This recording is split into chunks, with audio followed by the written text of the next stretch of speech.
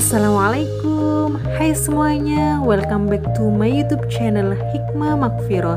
Jangan lupa ya untuk klik tombol subscribe Dan juga tombol loncengnya Agar tidak ketinggalan video-video selanjutnya di video kali ini saya akan mereview stand mixer Miyako SM625. Mixer ini sebenarnya sudah saya beli sejak Oktober tahun kemarin berbarengan dengan oven itu, namun videonya baru saya edit sekarang ya. Mengapa saya memilih Miyako ini? Karena yang pertama saya mencari mixer yang low budget tapi kualitasnya masih lumayan dan yang kedua nyari yang wattnya kecil dan yang ketiga yang service centernya banyak sehingga saya memiliki Miyako SM625 stand mixer ini. Dan ini udah dilengkapi dengan sendoknya ini ya.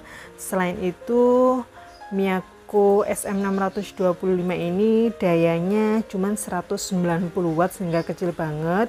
Selain itu udah ada dua bitter untuk aduk telur dan krim dan dog hooks untuk mengaduk adonan selain itu bowlnya dapat berputar otomatis dan bowlnya juga tutup geser sehingga mudah melihat adonan selain itu kabelnya fleksibel sehingga memudahkan untuk gerakan.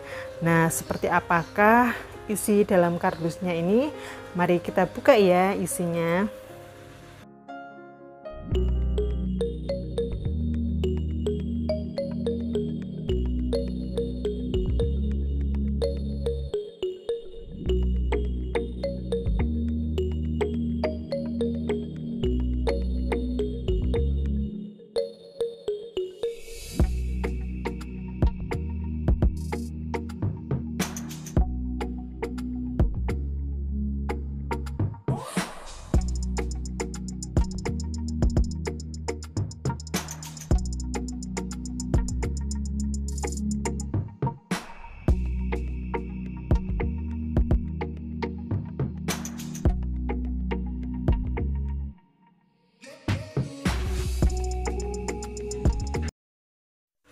Nah, ini isi di dalam kardusnya. Di dalamnya ada kartu garansinya.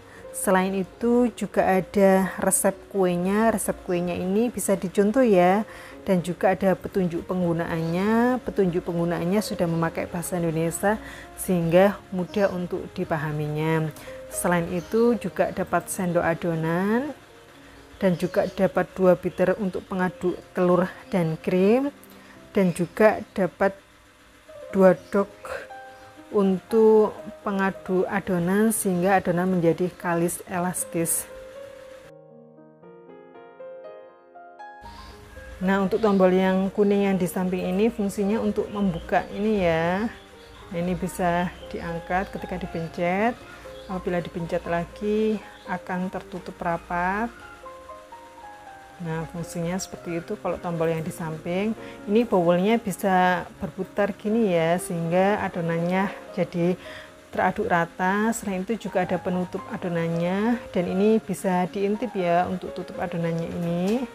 Nah, bisa dibuka ini kacanya seperti ini.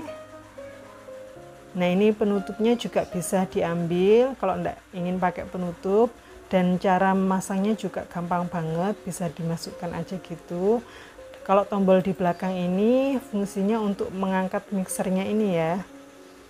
Nah ini bisa diangkat ketika dipencet. Kalau dipencet lagi bisa terkunci rapat. Nah ini saya coba ambil ya. Nah ini kalau tombol yang kuning di atas ini fungsinya untuk memasang bitter ini ya. Nah ini untuk memasangnya jangan sampai salah ya kalau yang ada geriginya ini dipasang di sebelah kiri. Kalau yang tidak ada yang polosan ini ditaruh sebelah kanan. Kalau masangnya salah bisa merusak mixernya ya. Mengapa yang ada gearnya tadi ditaruh sebelah kiri? Karena ini ya di bagian mixer ini yang sebelah kiri ada gearnya ini. Nah sehingga disesuaikan dengan yang ada gearnya tadi sehingga posisinya bisa pas begitu. Nah cara naruhnya seperti ini ya. Setelah itu tombolnya dipencet biar terkunci rapat. Nah ini tombol atas ini untuk mengambilnya dan cara memasukkannya seperti tadi. Yang ada gearnya taruh sebelah kiri dan yang polosan taruh sebelah kanan. Sampai berbunyi klik gitu ya jangan sampai salah ya kalau salah nanti bisa merusak mixernya tadi jadi dipaskan dengan kirinya ini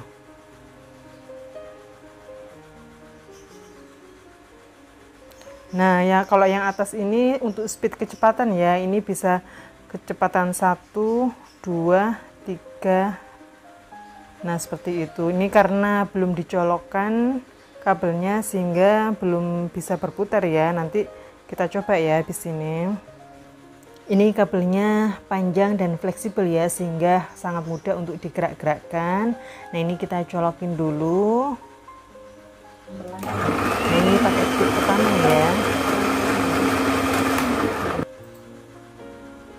ini tadi bowlnya berputar sendiri ya ketika tadi speednya dinyalakan ini bowlnya bisa juga ditutup nah bisa diintip seperti ini adonannya kalau ditutup juga tidak apa-apa bisa dibuka juga tidak apa-apa. Itu tadi review dari saya. Semoga bermanfaat buat teman-teman yang sedang nyari mixer yang low budget tapi kualitasnya juga lumayan. Terima kasih sudah menonton video ini sampai selesai. Dan jangan lupa untuk subscribe, like, komen, dan share. Dan bagi teman-teman yang ingin request video apa selanjutnya, ketik di kolom komentar ya. Atau bisa juga DM di Instagram saya. See you on my next video. Terima kasih. Wassalamualaikum warahmatullahi wabarakatuh.